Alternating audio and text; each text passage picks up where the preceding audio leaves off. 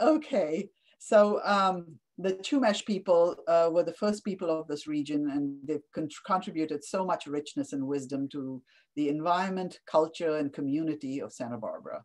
So at this time, we're just going to take a few seconds to reflect on and honor the Chumash people.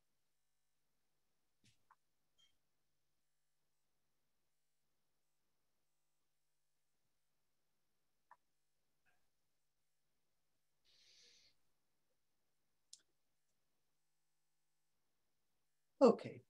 The um, Santa Barbara League was formed in 1938 after the so-called Spanish flu pandemic. And now in our 82nd year, and COVID-19 pandemic has tested us in many ways. In our daily lives, our society, our world, we have all been affected in ways we never imagined. So we honor all the essential workers on the front lines who daily risk contracting this contagious disease. The janitors, the grocery store workers, drivers, warehouse workers, letter carriers, food delivery people, teachers and transit workers, along with the doctors, nurses, and hospital staff caring for patients, they are all heroes. This webinar is being recorded and I know viewed uh, on our YouTube site by many people. Please use the Q&A uh, box to ask questions of our panelists, not the chat box. Today's talk is timely and honored to welcome all our expert panelists who will be introduced by our moderator and organizers forum, Emily Allen. Emily, I think, is the only young person I know who convinced her mother to join the league after she did. Usually the mothers introduce their daughters to the league. Emily is co-chair of our social policy committee and the program director of homeless and veterans impact initiatives for Northern Santa Barbara County United Way. Prior to that, she worked at the Legal Aid Foundation of Santa County as the managing attorney of the Homeless Education and Legal Project, where she did legal outreach to people experiencing homelessness.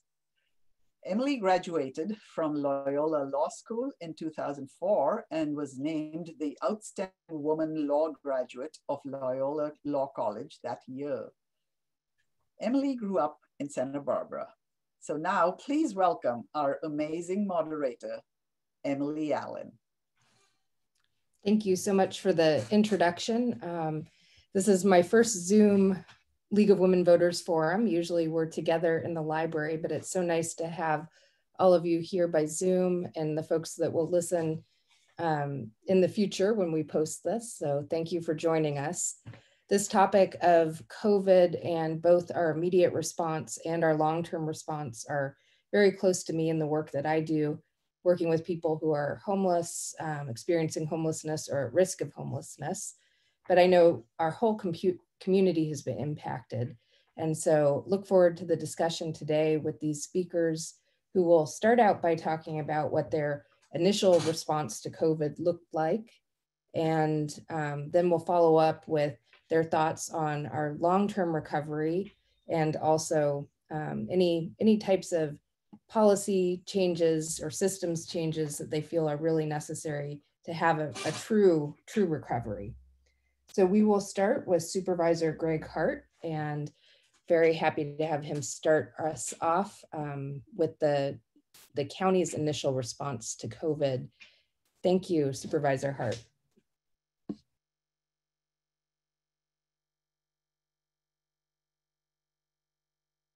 To talk about something that is on the front of everyone's mind and in our community around the state and the country for that matter. Uh, COVID-19 has been an enormous um, test of our community's resiliency and I'm really proud of the way that our community has responded. You know, we've asked very difficult things of local residents, of businesses, of really everyone and people have rallied to that cause.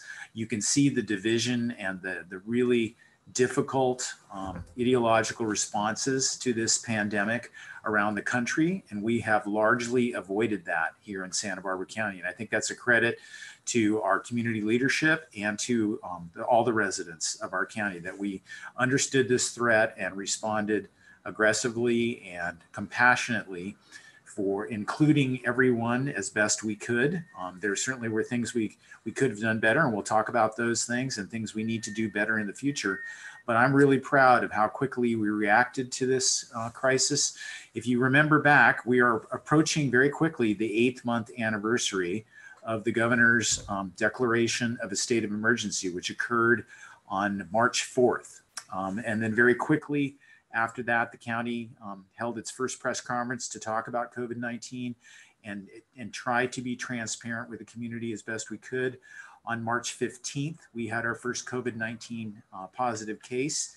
And then um, very quickly after that, the governor issued his statewide stay at home order. And we have been dealing with unprecedented events ever since. You know, we the, the economic effect, the effect on our children in schools, the effect on um, seniors in nursing homes, first responders, grocery workers, all the things that Vijaya said at the beginning of the introduction have been profound and impacted all of us. I'm sure we all have very personal stories about things, events that were significant family milestones that have had to be different this year as a result of our response to the, the pandemic. Um, all of us know people who have lost their jobs and are financially um, crushed by these events, and um, we are managing um, the moment. We are not at anywhere near the end of the pandemic, unfortunately. I think we're probably closer to the halfway point than we are to the end. And while things are at this particular moment in our community trending in the right direction. And that is something to be very proud of and, and congratulate ourselves on that success. It appears as though we're very, very close to moving into the, the next tier, to the orange tier, which is a little bit less restrictive, will allow more businesses to open up.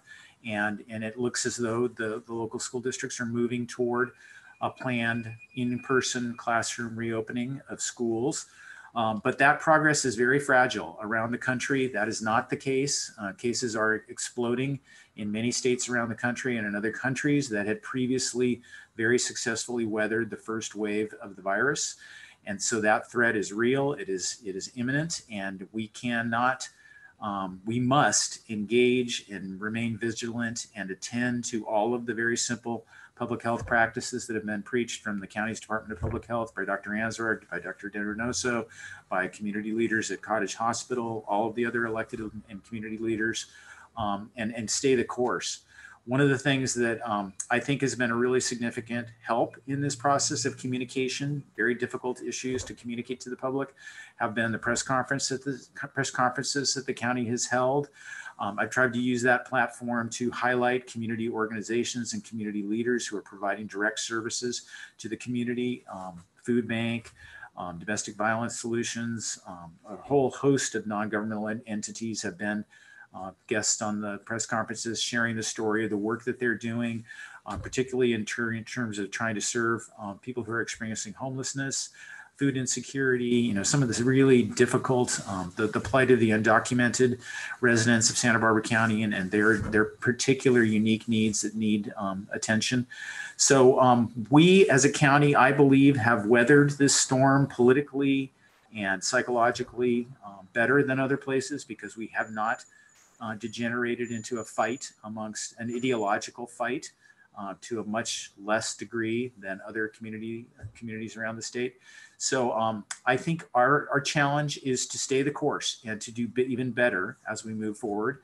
And all of the elements are in place. We have a, a collaborative community that is working well together. And I'm just very proud of being part of that and working with all of you to serve the residents of Santa Barbara County. Thank you, Emily. Thank you. Next, we have Council Member Meagan Harmon um, from the City of Santa Barbara, who can speak to what this has looked like from a city perspective. Thank you. Oh, thanks, Emily. Hi, thank you, everybody. Thank you to Vijaya and to the League.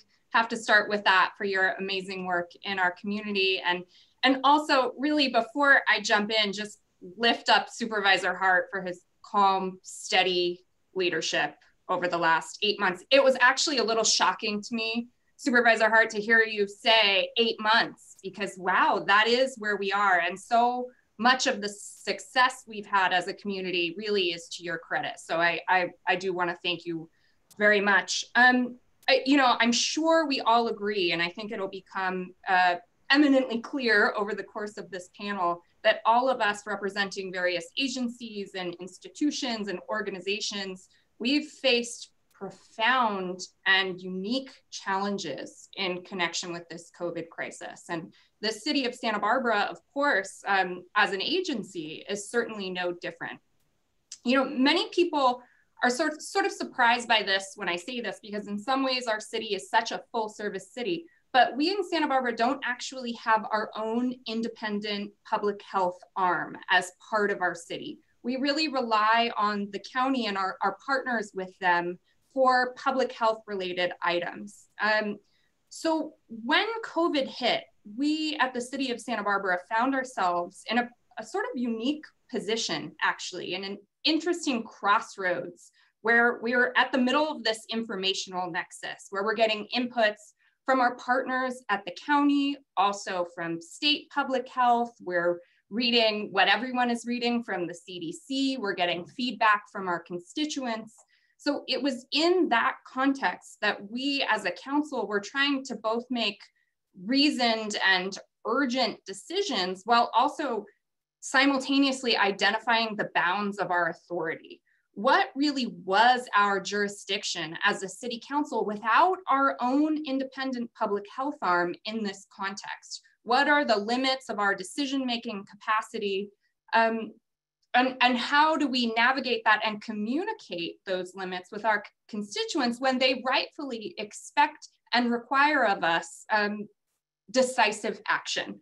So that was a very interesting legislative challenge for me. And I think um, maybe Supervisor Hart and I can write a, a poli sci article about it someday. But look, the reality is this is not academic.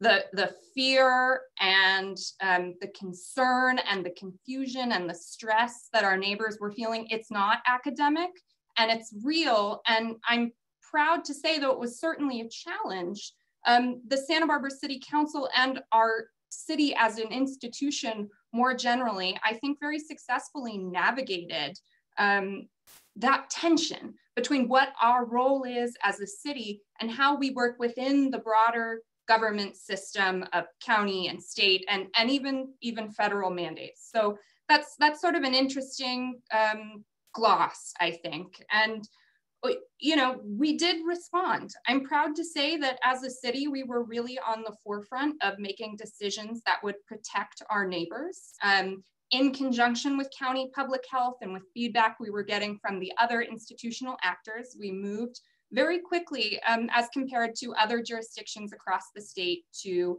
um, limit indoor dining, for example, to require mask wearing, to institute a temporary eviction protection ordinances, the things that really were um, band-aids, frankly, um, or would tide our community over as we navigated this crisis together. And, and as Supervisor Hart said, um, communication was a challenge. And I think we learned a lot as a council about how to effectively communicate with constituents who are facing um, a situation as we all were um, of just an absolutely unprecedented nature. But I do think that as a council, we did convey first and foremost that we in the city of Santa Barbara believe and trust science. Um, and that's something that I am extremely proud of and I will continue to be proud of.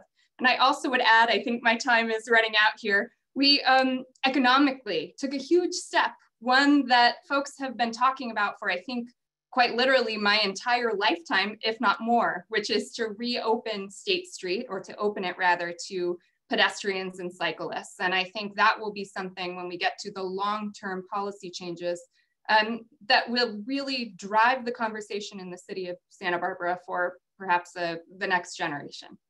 Thank you. Thank you. Next, we have um, Rubai Estes, the Vice President of Programs at the Santa Barbara Foundation.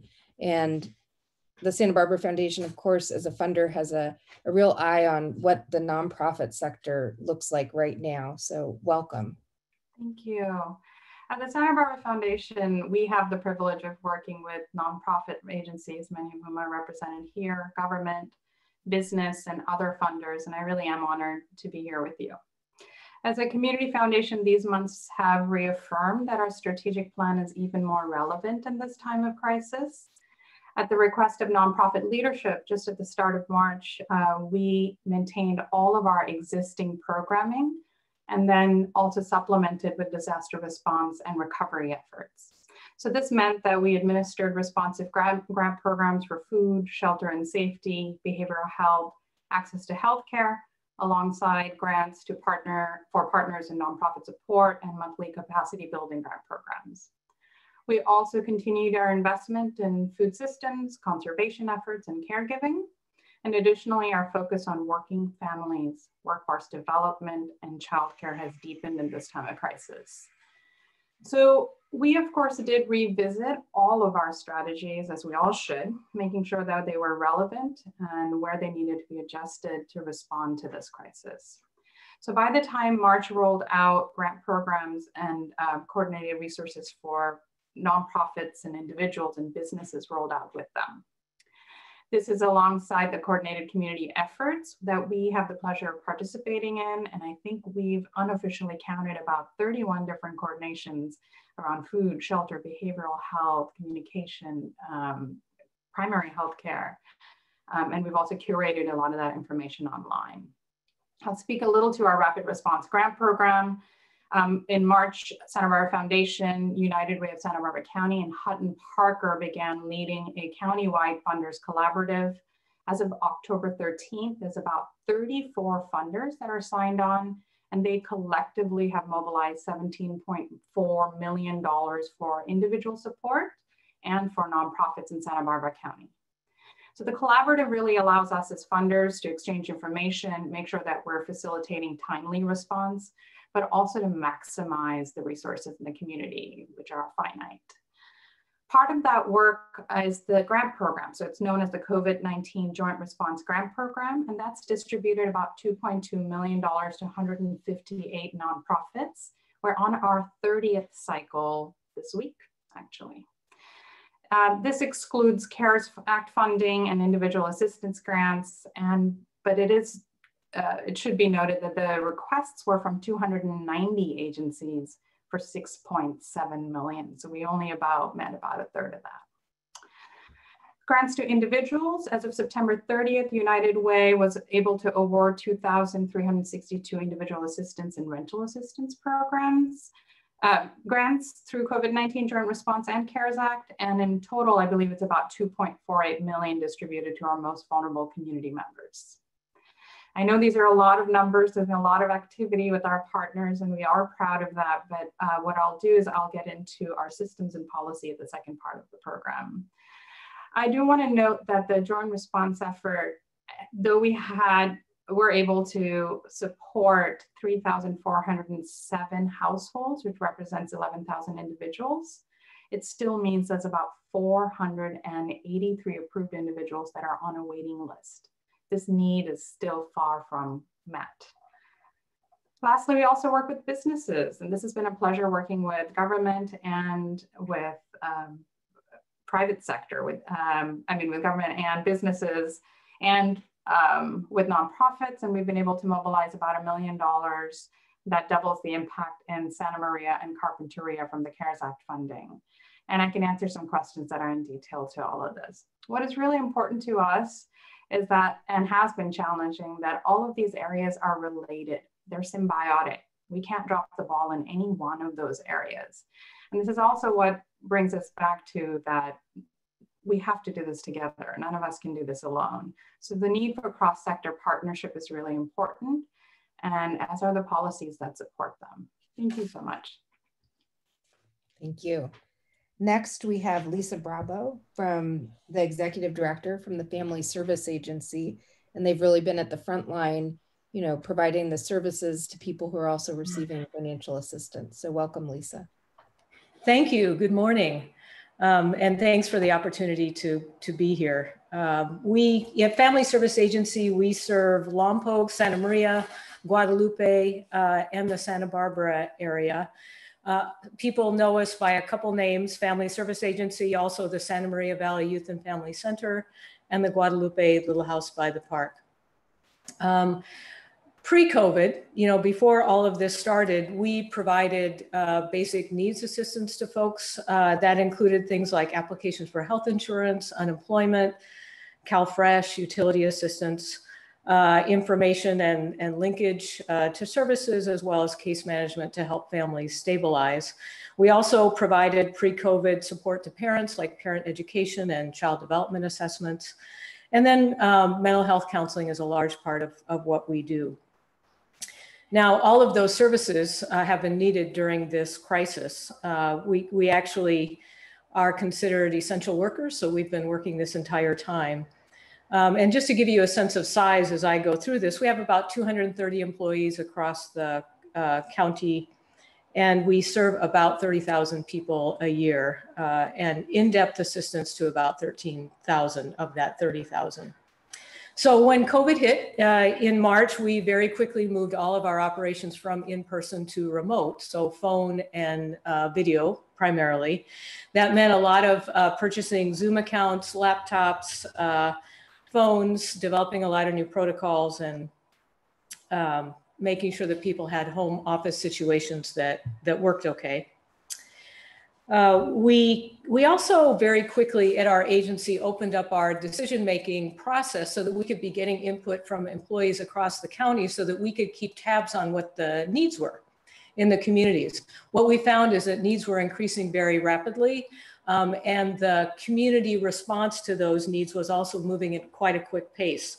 So we set up weekly, uh, well, we set up daily briefings with managers and weekly meetings with the entire staff so that we could hear what was happening. Um, this, this new process helped us to be agile. We could deploy staff where needed. Um, and with everyone's input, we were able to make decisions on the spot or gather the information needed so we could make decisions rapidly. And what we found, of course, is that additional services were needed. Um, so we added quite a number of services, primarily through partnerships. We added food supply and distribution in partnership with Food Bank and First Five. Uh, we also uh, worked with United Way and the COVID-19 joint response effort to process the applications for financial assistance that Rubai was talking about. And at the same time, we could assess um, additional needs that families uh, have so that, that we could assist them with the whole continuum of needs that they have instead of only the, the financial assistance. So a, a really wonderful partnership there. We set up uh, phone coaching lines across the county, which have been very um, popular with parents because parenting has been a pretty uh, difficult situation uh, in the midst of virtual schooling, et cetera. We also collaborated with a number of uh, nonprofits across the county to identify isolated seniors uh, and provide assistance to those seniors, things like supplies and food. Uh, we partnered with the public health department to open up a program called Housing for the Harvest, which is um, motel rooms to isolate or quarantine in, plus wraparound services. And then we also brought our youth mental health first aid training uh, online so that people, adults who are working with youth or adults who have kids could, could learn how to identify mental health needs uh, and understand how to respond to those. And that's a partnership with the Mental Wellness Center and Youth Well. We also, during this time, worked very closely with funders, the Santa Barbara Foundation, many other private uh, funders, uh, and the public funders to try to gain as much flexibility as we could in the contracts that we have so that we could respond quickly to what the to to community needs. Um, and I want you to know that has been a really wonderful uh, partnership that we've had with the funders. It has made all the difference for us. And then lastly, what we did is we made sure that we were taking care of our staff. Uh, many of them needed childcare, for example, so we set up childcare at all of our offices. And we've been working very closely with our board of directors to ensure that we're working together in making the best decisions that we can to try to meet community needs. So thank you very much. Thank you. Next, we have Frank Rodriguez, policy advocate at the Central Coast Alliance United for a Sustainable Economy, also known as CAUSE. And CAUSE has, of course, been on the front lines of advocating around housing issues and um, workers' issues. So, Frank, welcome. Thank you, everybody, um, for having me and for having this conversation. Um, again, Frank Rodriguez um, with Cause. And um, yeah, at, at, the start of this, I really want to focus in on we're a base building organization, building a base of um, community leaders, youth, young adults, and adults in Santa Maria, Santa Barbara, Oxnard, Ventura, and Santa Paula. Um, so I think our, our initial reaction was really touching base with um, um, the base um, through a survey to really um, see what were, were the issues and us really making sense of kind of the COVID-19 response and um, the, the community response that was needed for that. alongside that, talking about the, the tenant rights issues that we've been advocating over the years. Um, we released a housing report in 2019, really highlighting the, the growth of the housing crisis, which um, over the last five years, we've really focused in the city of Santa Barbara, where we've definitely seen um, gentrification and a lot of pushing out of communities of color, especially Latino immigrant communities. Um, um, however, in in talking about these issues as a base, folks in Santa Maria, folks in Ventura, folks in Oxnard, we're saying this is not just an issue in Santa Barbara. This is an issue affecting us uh, throughout the region. Um, so um, I think through, through this process, um, glad Eder um, is with us to, to speak next, especially on the DocuFund efforts throughout the region. Um, but I think in terms of tenant rights, um, that fear of folks losing their housing and the, the, the the quickly changing state laws, municipal laws, and county laws that are are coming into place to protect tenants um, has been a lot um, um, and a lot to keep up with. Um, and so we we definitely in looking at, at, at beyond recovery and um, how do we respond to what's going on is making sure folks aren't displaced um, in a way that's going to kick folks out of out of our region because of the lack of economic security or or housing security during these times. Um, so I think eviction protections have been a huge um, um, piece for us, and, and we're glad for the actions that the county and the um, and the city of Santa Barbara took, and knowing that we have to work alongside now what what the state has passed with um, Assembly Bill 3088. Um, allowing for deferred payment, but the asking of 25% of that rent um, from now until January 31st from tenants.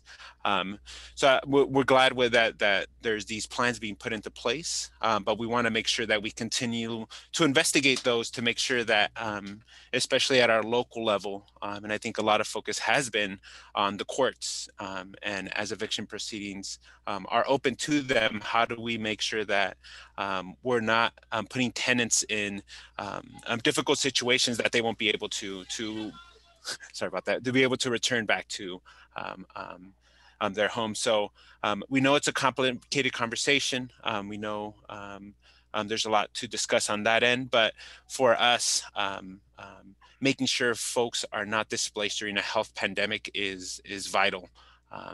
and and especially knowing that that COVID-19 has been um, hurting disproportionately, especially historically marginalized communities. Um, um, has been hurting a lot with with Latino and, and Black communities um, throughout the region. Um, really uplifting that that call for for equity and and making sure that um, um, we're we're protecting um, those who who might not have that security um, if they are displaced to, to, to stay here in our community, um, especially our service sector working economy, um, our, uh, um, our, farm workers throughout the region. We want to make sure that we have um, sustainable tenant rights in place to make sure that we're not seeing a whole different kind of 805 after COVID-19. And so on the other hat of, of work that we've been doing, it's with the Immigrant Latinx um, Immigrant Task Force. Um, I'm working with, with Vaughn and the um, Public Health Department um, with the Public Health Director. And I think that's been a great space where been able to help with facilitation of allowing folks to engage um, with the health department and, and, and different spaces in order to collaborate, um, especially getting out the, the, the, the, message on, on information on COVID-19 um, with farm worker communities um, um, in, in, in our region.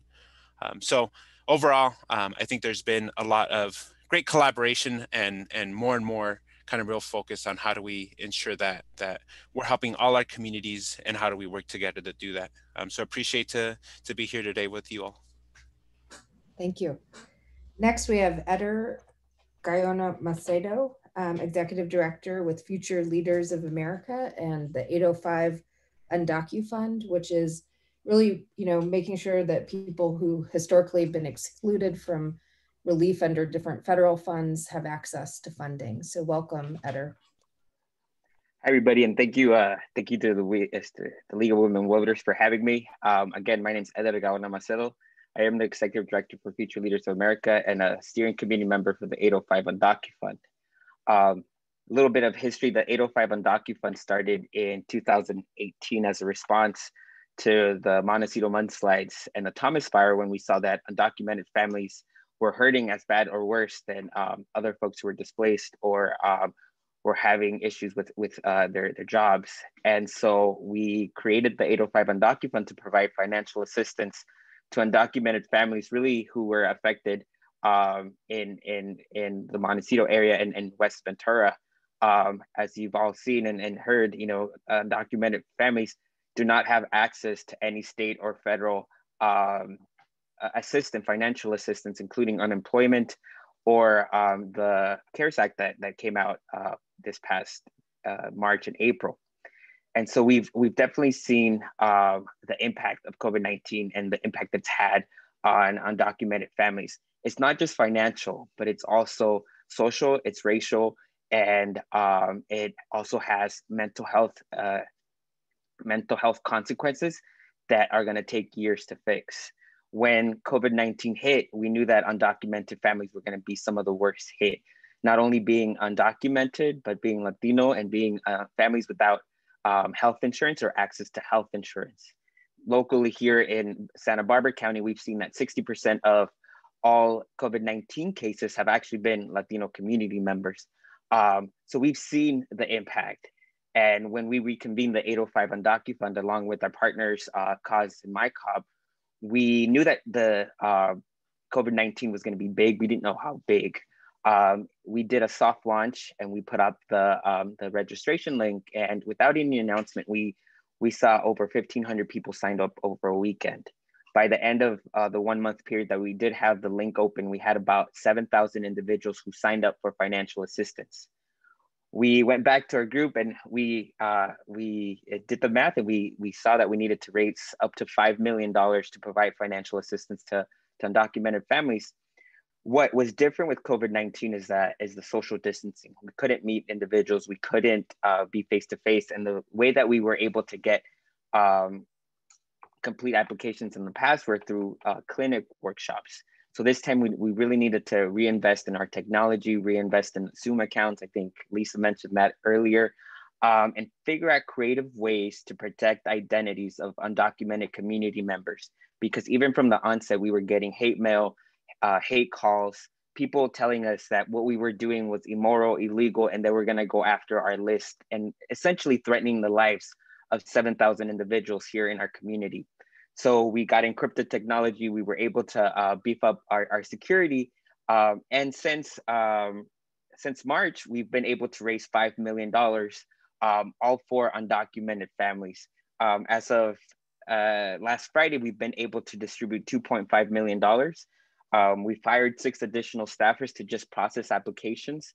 Um, and again, all of this is done virtually. We know that some of our community members cannot, uh, do not know the language, uh, do not know how to read or, uh, or, or, even write. So we know that we need to provide that extra assistance to make sure that they get the, the money necessary. The average grant has been $1,200, mimicking the federal stimulus that went out in April.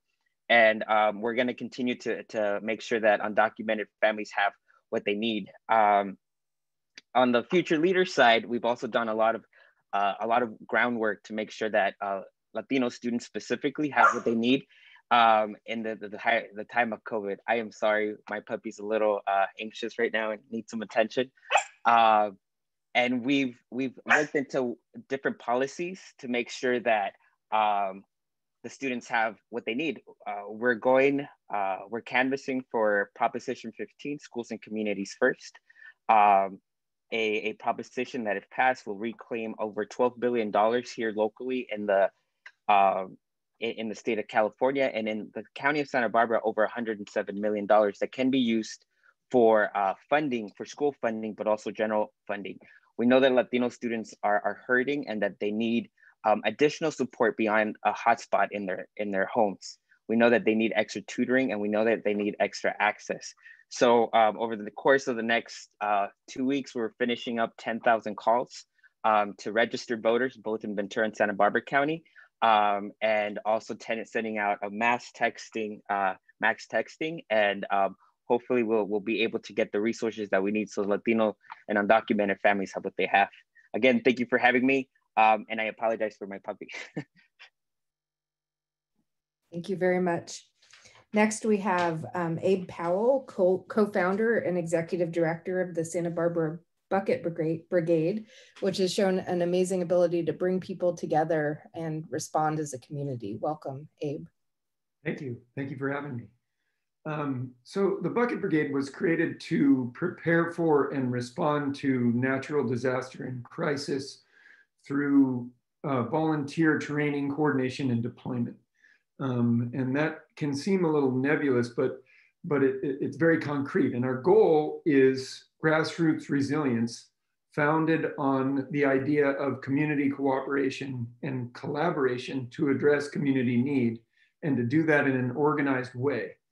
Um, so the, our method in a crisis that we demonstrated in, in various times, including in the debris flow of 2018, was to anticipate understand and address community needs that emerge from a crisis through cooperative action. Um, so uh, part of uh, the ability to do that comes from knowing your history.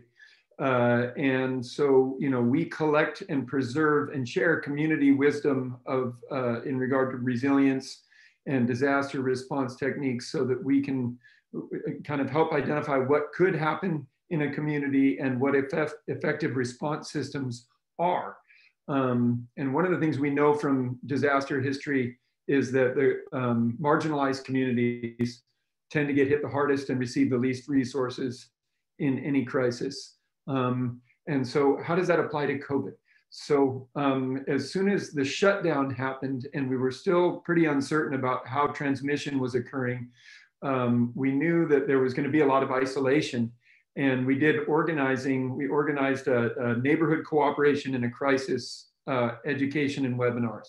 So the goal of that was to get neighbors cooperating to assist the most vulnerable members of their neighborhoods to uh, address need, and in this case, isolation and access to food. So seniors who were afraid of getting sick and couldn't go to the store, uh, we had trainings on how to safely shop for your neighbors. Uh, we assisted uh, in consulting with groups like um, uh, uh, Zoomers to Boomers and other groups to get uh, you know people connected, people who are isolated connected to food uh, and and just contact with people, safe contact with people during the lockdown.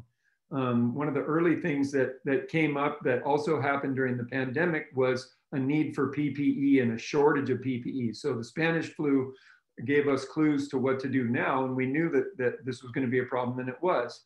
So uh, we had a huge supply of, of PPE for volunteer deployment, and especially masks, coveralls, and, and that kind of thing, latex gloves, hand sanitizer. We donated, donated our, our cash to the food bank and to the cottage hospital. And then we realized that that was still nowhere near what was needed. So we went back to our core operating principle, which is how can we cooperate as a community to meet that need, the need for PPE. And we started a crowdsourcing operation for uh, to make cloth face coverings and face shields. Um, and over 300 people signed up to help us. Uh, to date, we've made over 38,000 cloth face coverings that we've given away for free to vulnerable communities, including every single prisoner in Santa Barbara County Jail um, uh, H2A workers from ALCO and other places up north, and a lot of other groups. Um, so that was a cooperative action to address urgent community need. Um, we also collaborated with other groups to, to help identify need and strategize around meeting that. And part of that was joining the Immigrant Health Task Force uh, and working uh, with them to help see kind of what was happening in the community with uh, our most vulnerable communities and strategizing on how to address that. One of the things that we've seen uh, is, is food insecurity, whether we're talking about the food insecurity we saw um, at the grocery store when people panicked, uh, or the food insecurity we see now where the roles of seniors, for example, who need uh, food assistance has gone up 75% this year. So we've seen an urgent increase in, in, in, in uh, food aid, need for food aid and food security. And um, what we decided was to start a growing community project to get people growing at home uh, and to build capacity to grow food under duress in a community. And so the Growing Community Project partnered with a number of organizations and we're getting uh, a network of home gardeners growing at home, uh, community gardeners growing in community gardeners and sharing that food throughout the community to help increase access to fresh produce in uh, vulnerable populations in Santa Barbara County. And all of this is to serve community resilience building through collaborative and cooperative action at the grassroots level. Thank you very much. Next, we have Kathy King, Director of Outreach and Education at the Community Environmental Council. And I think we've all heard that there have been sometimes some, we believe, some positive impacts of COVID potentially on our environment. The Community Environmental Council can speak to that, but are also doing other important work in the community. So welcome, Kathy. Thank you. Thank you to the League of Women Voters for hosting this event, and it's an honor to be with all of you on this panel today. Um, when the shutdown began, my immediate personal reaction was, wow, people all over the, our community and the world are coming together for the common good. And this is sort of a basic principle of working on climate change, right? We need everybody to come together for a, this common cause that will save us all. So um, that, that's what struck me at the outset. Um, obviously, it relates to CEC's mission to uh, for a just and equitable transition um, to, to renewable energy and to get us out of the climate crisis. Um, but there are a lot of parallels of what we've done as a group that can be transferred to that. It's, it's not going to be even as painful, I think, but I think that now people sort of get it um, in terms of how rapidly that that that the general public responded to this because you know we were we're wearing masks for each other as much as for ourselves and and um, and just concepts like that. Um, on a practical level, um, when we all started working remotely, our CEO made some great immediate changes that kept our staff on track and connected. We went from twice monthly to weekly staff meetings. Um, and these staff meetings are more than just, you know, report outs on our work. It's also a chance for us to have little breakout sessions and connect with each other um, kind of on a personal level. You know, we're not passing each other in the hallway or having you know you know chats in the kitchen while we're making lunch anymore so just to give us the space to connect personally um, you know it, it informs our work as well so it keeps us part keep, keeps us continuing to be a team even when we're not in the same personal space, physical space anymore. Um, as you probably know, we produced the Santa Barbara Earth Day Festival, and that was one of the first major community events on the calendar right after the shutdown. So we had to pivot very quickly to producing an online event um, and we were pleased with the outcome. It was very challenging. Um, and we actually had more views on that than we do people in the park in general. Um, and obviously, there's no replacement for in person connections that happen, but it, it did allow us to create an event that provided information and entertainment, and also to mark the 50th anniversary of the creation of Earth Day, which was a huge milestone, especially given the local roots of that. Um, and then we set a standard for events going forward, um, which was very gratifying. And we had a lot of other people in the community coming to us and saying, how do we kind of do what you did? Because we had live hosts that made it feel like the whole event was happening um, in front of your eyes, even when a lot of the content was actually pre-recorded.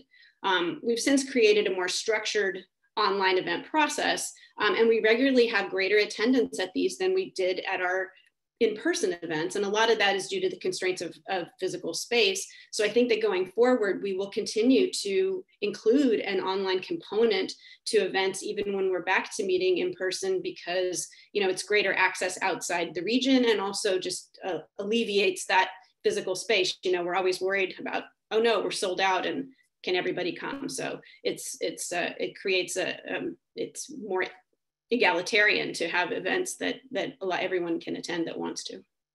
Um, the best example programmatically of what we did in the immediate reaction to COVID was through our food rescue program.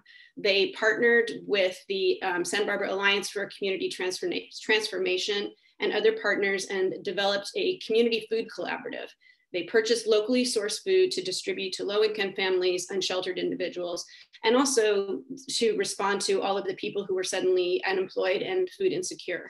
Um, the pandemic accelerated this food rescue work that was already in motion. Um, in 2018 and 2019 combined, the program rescued about 38,000 pounds of food. So far in 2020, the program has rescued over 80,000 pounds of food. And this new visibility has attracted more partners, allowing the network to be built further. We already had big ideas for the future of this network, promoting collaboration, efficiencies, and bringing in different sectors to show how intertwined the goals really are. Reducing waste, protecting the environment, and feeding people all come together in the food rescue program. And the pandemic has helped move these goals forward and highlights the needs that might not otherwise have been realized. Um, we have more examples, but I will stop there and um, share more when we talk about the long-term recovery. Thank you. Wonderful. Thank you. So next we have time for question and answer and um, you can type into the question and answer questions that you have. I do have some questions, you know, that have been shared um, with me that um, some some folks would like to see asked, but we'd love to hear from the audience also. So try to make them concise if possible. I have one from Linda Honickman, and she's um, wants to thank this impressive group. I'm especially appreciative of the efforts of Eder and the Undocu Fund. A few questions to Supervisor Hart and Councilmember Harmon. If we do not get more stim stimulus, what will our government um, budgets, will our government budgets be in trouble? Can you speak to how this could impact um, the county and cities financially. And Supervisor Hart, I'll have you go first. Well, I'm, I'm seeing the glass half full. I think there's going to be tremendous change on election day. And I'm hopeful that with that change, there will be um, a more rational and comprehensive response from the federal government. Um, that has been sorely lacking and one of the biggest um, things that stands out during this pandemic.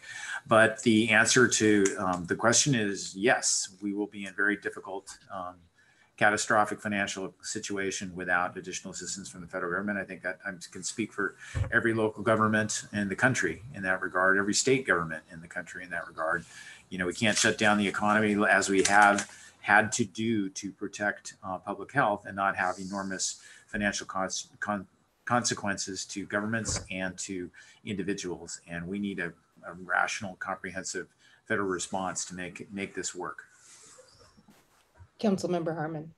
Thank you. Yeah, I'll second that completely. I mean, particularly Santa Barbara um, is in a challenging position as a, a tourist town, um, a town whose economy relies pretty strongly on the tourist trade. You know, this has hit our budget um, in ways that are, are pretty impactful. But I, I do need to acknowledge the work of Supervisor Hart when he was on council of fully funding our reserves. And you know, I it's not particularly sexy to like champion funding reserves. You know, it doesn't really get people all excited and you're not seeing tons of Facebook posts about it. But here we are um, experiencing the benefits of having a fully funded reserve. I mean, we were really able to um, make up the gap by leaning on that. And that's exactly what it's for. So, you know, I, I have to lift up the work of council members who've come before me and who've prioritized that despite pressures to spend monies in other ways, because we find ourselves in a true fiscal emergency and, and having that um, buffer to be able to continue to provide the level of service to our residents that, that they deserve. So that's a good thing. Um, but but yeah, frankly, I mean, we've we've got to get some help from the federal government and particularly cities our size. Um, it's important that we're included in, in whatever stimulus is to come. And I, I just don't think that it's feasible to leave out municipal governments that um, represent 90 to 100,000 people. We, we truly are feeling the pinch. So I'm hopeful as well. Thank you. Another question we received, what does what does normal look like post pandemic? And you know, really I think getting at the question of um, do we want to go back to normal or should normal look differently? So whoever would like to jump in, um, please do.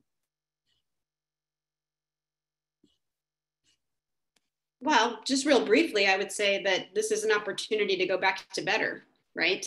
Rather than back to normal. I mean, we've seen a dip in fossil fuel usage across the world. I think, as you, Emily, sort of pointed out in the introduction to me, that um, there's there's a slight benefit there. You know, people aren't flying, and flying takes a lot of fuel and, and creates a lot of emissions, but um, that's going to come back, right? So, how do we fix these systems so that when things come back, they come back better than they were before?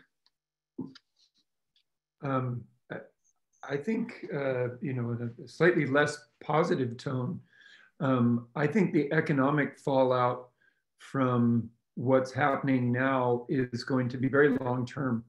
Um, and an example of that is if you just look at the people who are pending eviction right now and the roles of, of, of, pending evictions that have been stayed through various policy, you know, kind of stopgap measures. Um, you know, we're experiencing a homelessness crisis in Santa Barbara now, and that should increase dramatically uh, next year. Um, we're experiencing a, a, a, food insecurity crisis, um, and we expect the economic fallout of all this long-term unemployment to, to, to dramatically affect that in the years to come. And so, uh, and, and, all of this within the context of climate change, where, you know, uh, something unimaginable before happened. 4 million acres have burned already in California this year. And we're experiencing a crisis within a crisis. And I think really getting our heads around how serious the situation is now and, and, and moving forward for vulnerable populations and ultimately for all of us um, in the county is, is going to be uh, a, a, a, really uh, an important priority for all the groups like and all the people that are here moving forward. So the next, I just want to add. Oh. And Eder, it's directed to you, so you'll get a chance to start out. But the community needs that you see arising um, in you know, in the future? What do you see beginning to emerge as a need? Yeah, uh, I mean, just going back to the previous question, the old normal wasn't working. And so this is definitely an opportunity to build up and really talk about what equity looks like in a new society. It's not fair that undocumented immigrants do not have access to these resources. They've become the backbone of our economy, yet we treat undocumented immigrants like second class citizens. And so it's definitely uh, uh, an opportunity to build up and change the narrative in terms of what's what's what's uh, what's being seen. Definitely, a lot more help is needed. Um, undocumented families, some have not worked since March there's a lot of mental health issues happening right now. Uh, a lot of single moms. We have seen many single mom households that do not have the resources, the time, or the know-how to get their students through, you know, uh, assuming through through through uh, through school. And in order for us to make a more just society, we're really gonna have to think about what equity means and what equity means here in Santa Barbara. Just because the city is wealthy or the people are wealthy doesn't mean that everyone is well off. And part of that is making sure that resources are available, including mental health, um, healthcare, um, and that everything has um, is translated. Um, because there, even though a lot of this information is still out there, there's still people that aren't getting the information, um, and we need to make sure that that gets out there. Thank you. And Lisa, um, also, can you respond to what you're seeing as emerging needs? Uh, actually, I would I would uh, support what Eder just said. The longer this goes on, uh, the more intense the needs are. So, you know, not paying rent one month, not paying rent two months, not paying rent three months, not having food to feed the family, not being able to support their their schooling. These things just get worse the longer we're, we're in this situation. So that means it takes even more resources to help people dig out uh, of these problems. Um, and you add this really important issue of equity. Oh, oh my gosh, um, th things are looking um, tough on this road ahead. Uh, and I would agree with Kathy, let's return to better. That's the idea is that if we can take a look at what's going on, try to reprioritize our resources so we can address these things in the best way possible, maybe we can actually end uh, in a better place in regard to equity. Wouldn't that be wonderful? Thank you. There was a question about how many homeless in Santa Barbara and the greater area. And I, I think I'll jump in with, you know, in the recent point in time count, and it's similarly shown in data we're now collecting on a very regular basis in our homeless management information system. There were 1,897 people surveyed countywide um, for the city of Santa Barbara, because I think Santa Barbara was also part of the question in 2020, there were 914 surveyed in the city of Santa Barbara. And the numbers have been fairly flat, but with COVID and um, with potential for eviction, you know, that certainly could increase.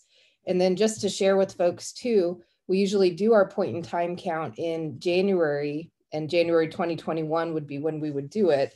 And we're still waiting to hear more from the federal government exactly what that will look like during the time of COVID, where of course engaging volunteers and doing a big effort like that, um, really for safety reasons, will need to look differently. So more on that as we um, receive more information.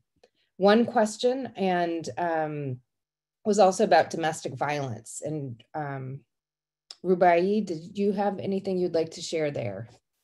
Yes, April, we started hearing from agencies who are working in this area about the increase in domestic violence. The challenge is reporting. So a few things that we've heard is A, some people, especially with mental stress and loss of employment and hardship, um, uh, the victims are trapped in the homes with these abusers often. So reporting has been a challenge. Also, when an patients who are already receiving services, they had to move remote behavioral health model, technology gap issue, there's a language and cultural gap issue, and also again, limited devices at home and not being able to find a safe space to have that behavioral health counseling. So agencies were starting to look creatively and find safe spaces that are physically and mentally safe uh, where individuals can go to receive counseling. Um, with children, this is much harder and underreported. Um, from the COVID-19 during response, done multiple rounds of funding in area because of the increase. As far as we know, and maybe somebody else can speak to this more accurately, the reporting is far from real, let alone what it was before COVID-19. Yes, the only thing I'll add to the domestic violence is, you know, on a positive note, the domestic violence you know provider you know has partnered with other shelter providers and are finding ways you know sometimes needing to use motels but to make sure that survivors are able to you know leave those situations. So just encourage anyone who is experiencing that or has a friend who is to connect connect that person with um, domestic violence solutions locally in santa barbara county to provide assistance. So a question about public health and Supervisor Hart, you have been at so many of those um, press conferences. I think you might be the person to answer this, but what can you tell us about the long-term public health issues? What does it look like for people who've survived COVID, you know, including their families?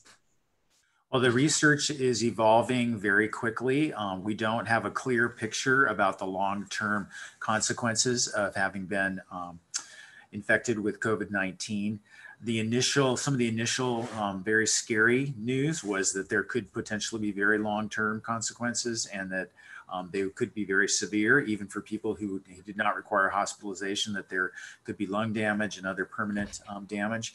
The most recent information that I've seen is that perhaps that um, may be reversing itself with some people and that the, the most severe concerns and consequences may not materialize, which would be great news.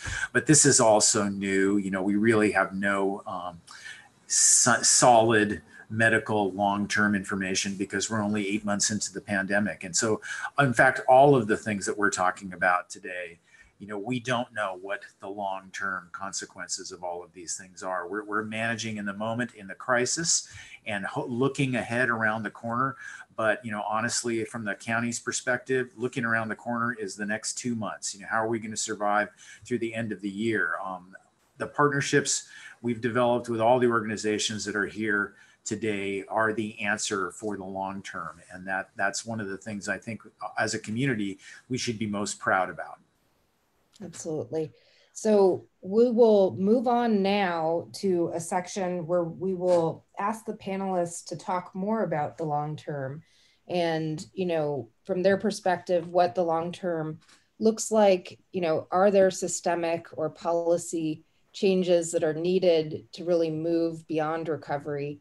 And I will be starting with Rubai uh, Estes from the Santa Barbara Foundation, who again, you know, has that that eye on all of the different nonprofits and funders in our community. So Rubai.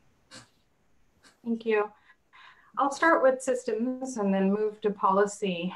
A quote that still rings so true to us today. The true measure of any society can be found in how it treats its most vulnerable by Mahatma Gandhi. And even though this is a global pandemic, our wellness is dependent on our local response. So some models estimate this could go on from five, possibly to years, noting that we know, as Supervisor Hart mentioned, about the progressive loss of income to local municipalities.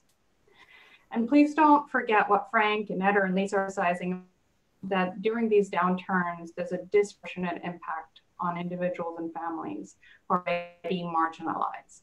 Not something that was created by the pandemic. This is a disparity that's been evident in our community over decades.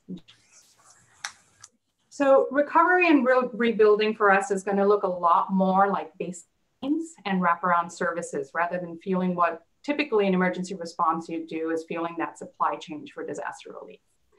What we mean by that is food, shelter, and safety, but also behavioral health, and most importantly, case management, and a strong and complete referral mechanism.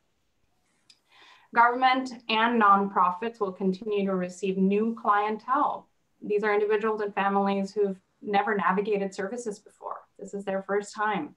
And those serving them, those government and nonprofit agencies will need increased capacity for the long term, not just to the end of the pandemic, to serve these new community members um, as part of their.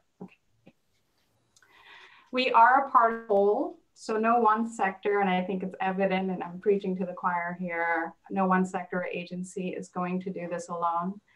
And as, as again, Supervisor Hart said, on this panel alone, you see key actors and coordinated efforts and wonderful work. And this is where we have the privilege as a funder to see our lining the Isolated Seniors Program, Housing for the Harvest, Latinx Indigenous Migrant COVID-19 Task Force, MIVIOS, Act on Homelessness, Food Action. I could go on, we calculated about 31 of them. So thank you for the work all of you are doing. In terms of policy and implementation, we consider access, and access is a key issue for everyone that needs service as being socio-emotional, physical, and financial. To truly make services available to all communities, we have to address all these points of access. Having a food district site that is two miles from a migrant farm worker, let's say a senior center, it might as well be 50 miles away. This is not a place of familiarity. This is not a place of need. Um, this is, there may not be language or cultural access. Do I feel safe coming to you? Think about that. Reference in policymaking reference Women's Well-Being Index. I am an evaluator in my past life. I cannot emphasize this enough. How is the policy legislation going to impact women specifically? mortgage incentives, planning and urban development, USDA grants. How is this going to impact women and particularly women of color? One of the major breaks in the system is how we allocate public funds. Most federal and funding is on official poverty measures. Family resource centers know this best. When a family is working to break out of poverty, there's a massive cliff where all subsidies are pulled out. When we are considering incentives and policies, we have to look at supplemental poverty measures. These poverty measures actually calculate the expenses that an individual and families, family actually has rather than it being income based. Consider nonprofits as essential workers. Um, these, think there's much I can say, nonprofit workers are essential workers and that's been evident. And lastly, and I'll close there, universal childcare. Childcare is a basic need. There's no ifs and buts about it. it impacts every individual, every family. Look at it as an economic driver and also through the lens of equity. Care is a basic need. I'll stop there. Thank you. Uh, Lisa, Brabo. Thank you. Uh, perfect, Rubai. That was a perfect setup uh, for me. So what, what we're seeing right now is some of what was referred to uh, just a minute ago. You know, that's that needs are increasing, needs are intensifying. The, the hole is getting deeper it would be a way uh, to say that. There, and there are a lot of newly eligible people because a lot of people have lost their employment during this time. We're also seeing that um, extra funding to meet extra needs is running low or running out. Some of that is, uh, you know, the relief funding at the federal level. Some of it is uh, private funding at our local level the funders have been just tremendous in stepping up to meet the need. And it's been one of the uh, amazing um, shining lights, I think, in our uh, community. Uh, and everyone's resources are, are, you know, mostly running, running low at this point. I would also say that the, the costs of providing assistance are higher um, and I hadn't expected this, honestly. It is a crisis, so I should have expected it. But what I mean by that is we're, we're for example, providing childcare for our staff so that they can assist community members. That's costing our agency $3,500 a week of unbudgeted cost that we have, along with everything else the PPE, the Zoom accounts, the everything else that it takes to uh, provide this. So the cost of operating is more um, and the needs are more and uh, more intense. Um, the partnerships, I think, um, have been tremendous during this time. Uh, and that's been, I think, another saving grace for all of us is that we have been working together really wonderfully. So moving forward, it seems we do need more funding, we do need more resources, and we need flexibility with those resources so we can use them in the ways that communities need. Um, we also continuing to partner uh, is, is really important. Um, and then also the last thing I had put is we need appropriate and accessible assistance to all populations. That this discrepancy we have uh, across the, the country, probably the world, in regard to equity is very, very clear. Thank you. Thank you. Frank. Yeah, um, th thanks a lot to Ruby and and Lisa for that. Um, yeah, I agree, um, and and especially in in uplifting um, communities that are disproportionately being affected. Um, it's really how are we having productive, critical conversations about racism? Um, another issue that we know has has been uplifted during these times. And um, um, and especially in our region and really appreciative of, of, of coalitions and, and movements such as Healing Justice here um, in our region and other groups throughout the Central Coast, um, um, especially Black community leaders who have been uplifting responses in local law enforcement, but as as an organization with with cause and with 805 UndocuFund, it's kind of the, the, the racism that we see in terms of uplifting and trying to respond to to supporting communities of color. So how do we um, engage in these difficult and critical conversations. Um, um, and especially as as a as someone who grew up here in town and um, um, how do we kind of look at that inequality that we know is here, especially in, in Santa Barbara? How do we look at the inequalities between North County and, and South County in Santa Barbara that I know preach on the choir on that as well, but um, I think it's really how do we properly engage in discussing about um, addressing racism as part of this response to, to creating healthy communities. Um, and and um, looping it back to kind of what we've been focusing on in terms of tenant rights, it's um, um, or an economic kind of rights that folks have. We know there's a history of that has led to folks um, being segregated. There's a history of what's led to folks not um, being able to get those investments um, from banks in order to to get a home or get property over over the generations here in our region.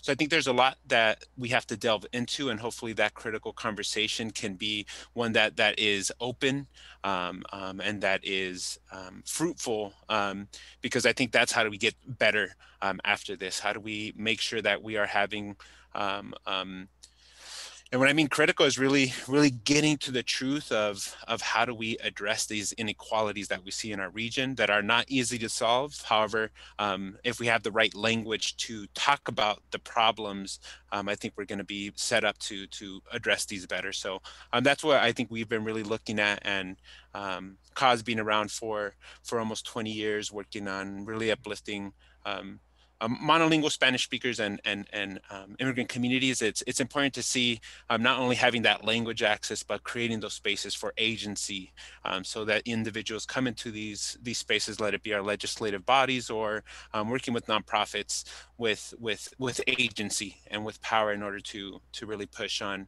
on really finding those solutions that we need. So super excited to see that happen, um, and excited to have talked with y'all today about that. Thank you. And Eder. Everybody again. Um, I, I, you know, COVID 19 has definitely shown and exacerbated inequities in our community. Uh, unfortunately, locally, we have organizations that have stepped up and been able to meet the needs, not all of them, but definitely meet some needs, especially for the undocumented community. But this can only go so far.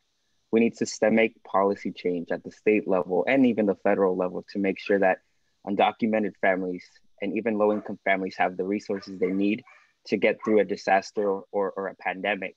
Um, policies such as safety net for all, which would provide unemployment benefits to undocumented families, are needed for our undocumented brothers and sisters. Um, at the federal level, we need a comprehensive, um, comprehensive pathway to citizenship for um, all undocumented families here in the United States. We have 11 million, close to 11 million undocumented residents in, in this in this country. And unfortunately, um, not everyone has an 805 UndocuFund in their backyard. Not everyone has uh, organizations willing to support. So we know that systemically we need to provide um, a pathway to citizenship. And we also need to rethink how um, the Department of Homeland Security targets undocumented immigrants. We know that ICE, Immigration Custom Enforcement, uh, terrorizes our communities daily um, with um, the family separations and also going into neighborhoods and communities, even our own community, um, because it's it's definitely spreading a lot of fear. Just last week, um, I texted Frank because my my aunt told me that um, ICE was um, at the bakery at Rose Bakery, um, La Bella Rosa on the west side, and she didn't want to go get bread. She didn't want to leave her home, and that's something that's happening not just here in Santa Barbara, but across the United States. So we need to make sure that you know we we abolish ICE and we look at ways in which we elevate undocumented immigrants um, because what they're going through is um, is, is, scary. Um, on the education front, um, we also need to make sure that uh, low income Latino students are provided what they need to make sure they succeed.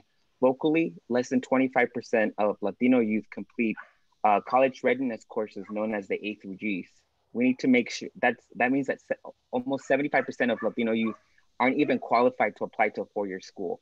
We need to make sure that locally we uh, create systems in place that to make sure that these students have the resources they need to make sure that they can complete the A through Gs and be college bound because that's the only way that we're going to be able to create a college going culture and that's the only way that we're going to lift up communities that have historically been underserved and marginalized. Um, and lastly, on funding, um, I could talk about this all day, but um, community uh, organizations led by people of color have also been historically underfunded. Um, we need to make sure that we advocate for these organizations who have built long-lasting, uh, trusting communities with, um, you know, undocumented communities here, Latino communities. We need to make sure that these organizations are lifted and that they're funded fully um, because they're at the they're at the forefront of making sure at these rep response efforts. Um, these dollars need to be unrestricted. They need to make sure that these organizations can build capacity so that in the long run they're here you know for the for the census effort for the covid efforts we've definitely done a lot of work um, but we need to make sure that people of color organizations are also uh, funded at the same level and that they have the resources needed um, and i think that's it thank you. Thank you abe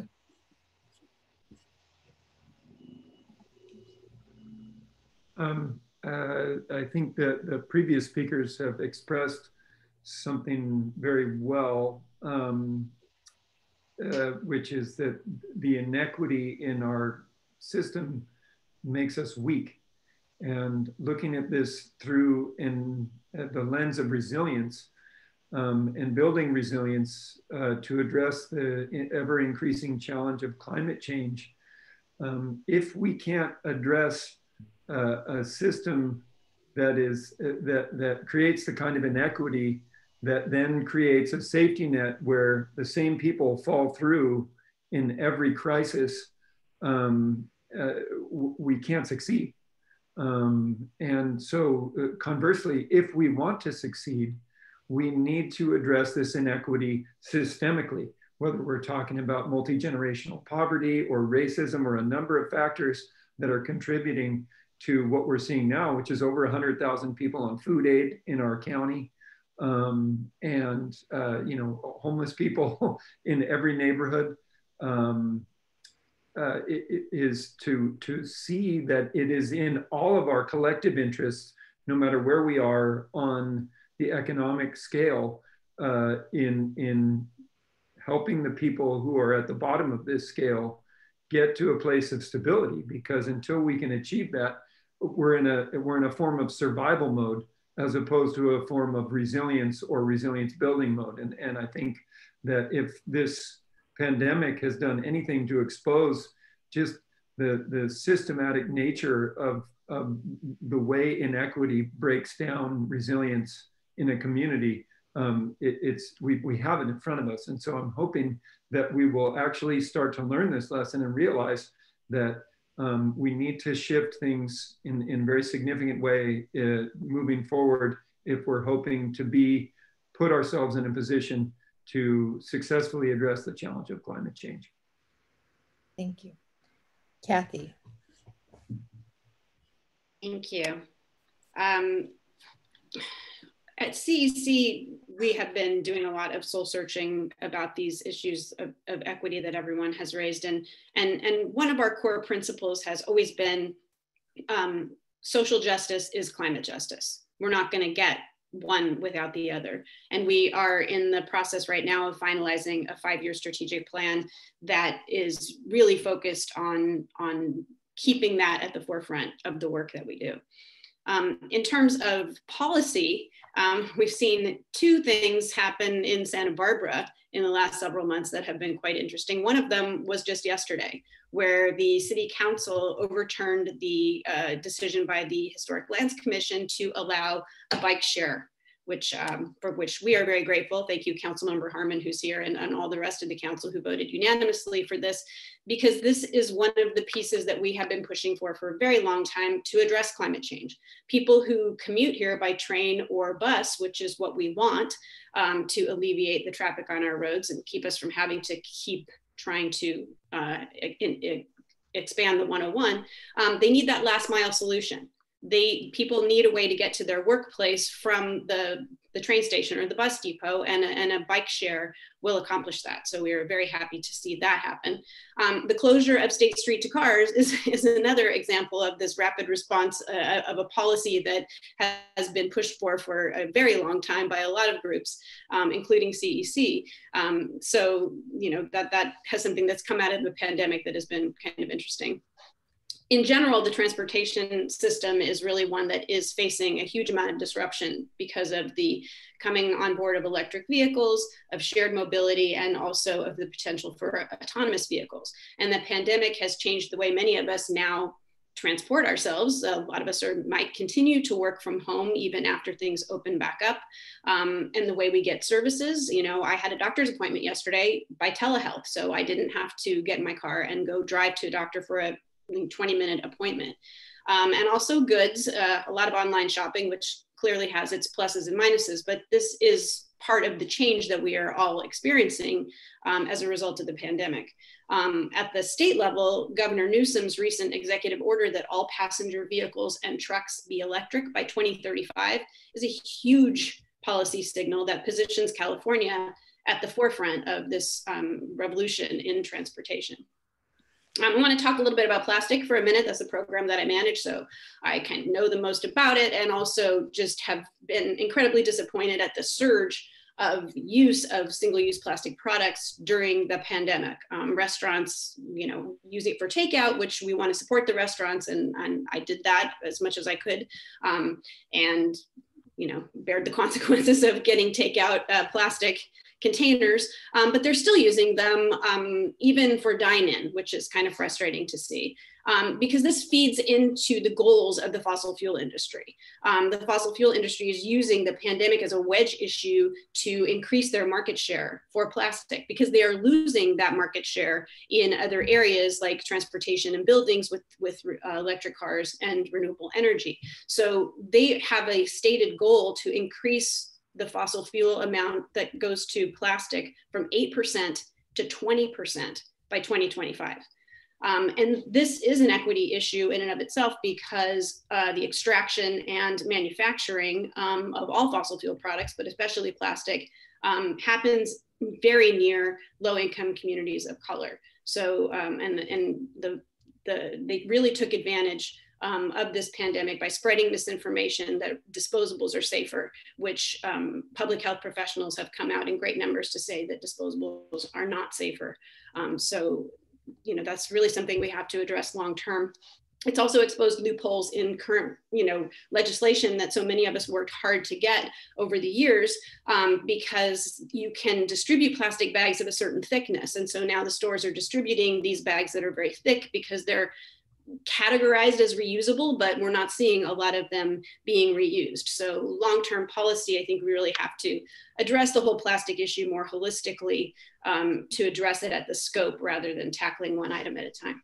And I want to close with a cartoon that some of you may have seen um, that has stuck with me, where there's two people on a beach with a wave that's crashing around their knee level saying and it's labeled covid saying um, well we're, we're we're managing this you know we're getting through this. And what they don't see is the tsunami coming over their heads behind them that is labeled climate change.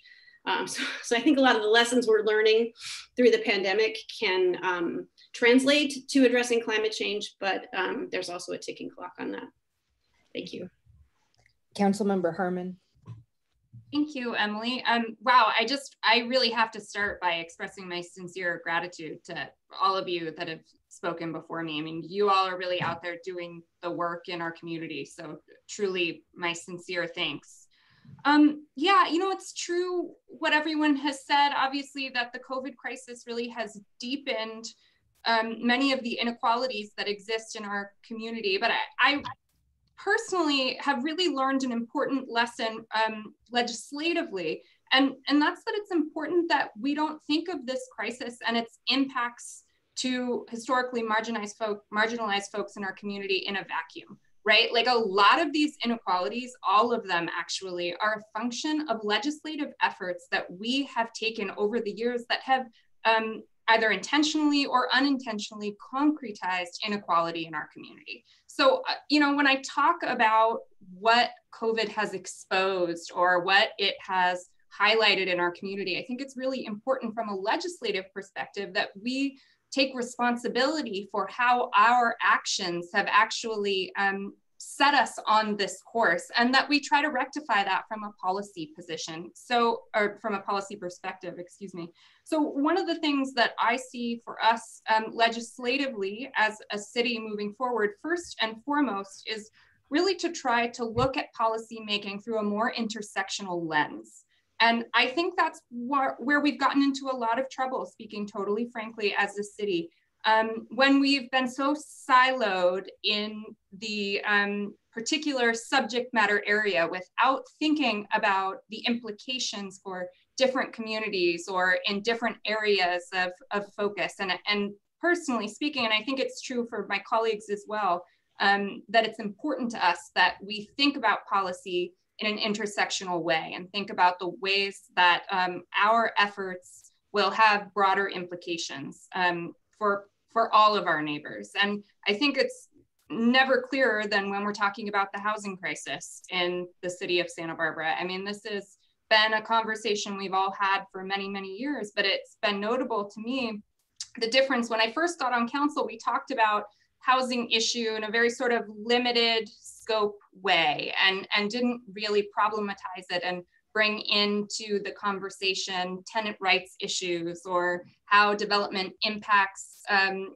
our climate and, and how eviction is impacted by the housing crisis. And, and I think moving forward, um, glass half full, one of the benefits is that we've had some real learning about the necessity to have truly fulsome conversations if we're actually going to serve our community, if we're going to put forward policy that will in the long term um, lessen that inequality and lift up our community in the ways that we need it to.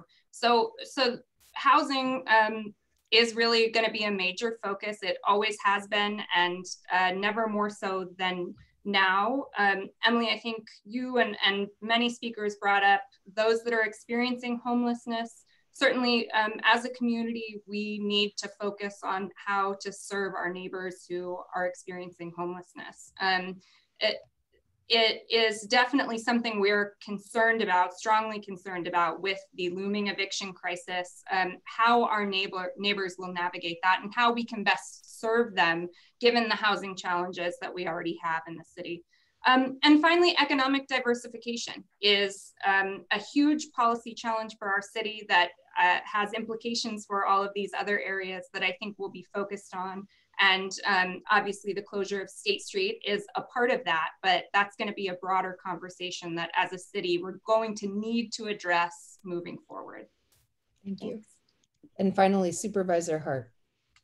I just want to take this opportunity to again thank the League of Women Voters for assembling this incredible panel and for or having this very high level, thoughtful conversation about what COVID has done to challenge us and the responses that we are all taking. And I want to really congratulate Councilmember Harmon for her leadership with the City of Santa Barbara. It is really fun and exciting to be a partner with somebody who is so thoughtful and uh, really brings passion and, and a great sense of intellect and uh, creativity to her job as an elected leader. It's really, really a pleasure to work with her and everybody on this panel. This is one of the things that makes me most so proud about our community is that there is this capacity, there's this expertise, this wealth of information and knowledge and passion to address these really difficult um, challenges. Something that immediately comes to mind as a result of our conversation is that wonderful quote from the former mayor of Chicago that we should never let a serious crisis go to waste.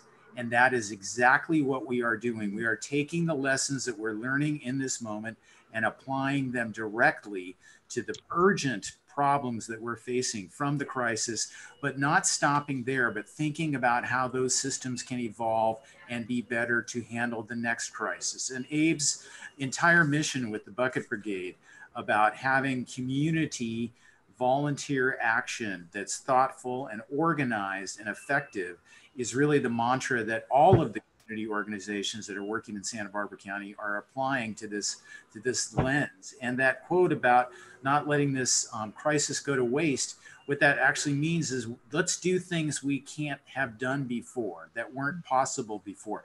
Let's find new partnerships and new creativity and new collaboration that goes beyond what we have been doing to be more effective and more powerful in addressing the inequities that we all see in, in every one of our um, works and all of our work and, and thinking about the consequences you know to to the climate and to the global world that we live in um, you know when you really think about it santa barbara county is like a microcosm of the country we are a blue state and a red state stapled together. We have some of the most vast income disparities that you will see in any place. The, the poorest portions of the United States of America are represented in our county and the most wealthy. And our ability to work together to, to combine the resources from that wealth with the needs and the urgency to help our neighbors is a real opportunity and a challenge for all of us every day in our lives as leaders. And I look forward to working with all of you to do more work in that space every day going forward. Thank you. Thank you. And I want to thank all of the panelists and all of the participants today. You know, the League of Women Voters, whether it is environmental issues or social policy issues, will certainly be looking at the, these issues as we move beyond recovery and ask you to join us and become more involved. And all of the panelists, you know, also please, please let us know what are the emerging, emerging policy actions that will help, you know, move us forward and beyond recovery to an even more healthy and resilient community. So thank you all again for participating. And we will be, of course, sharing the video as soon as possible for people who weren't able to attend today. Thank you very much.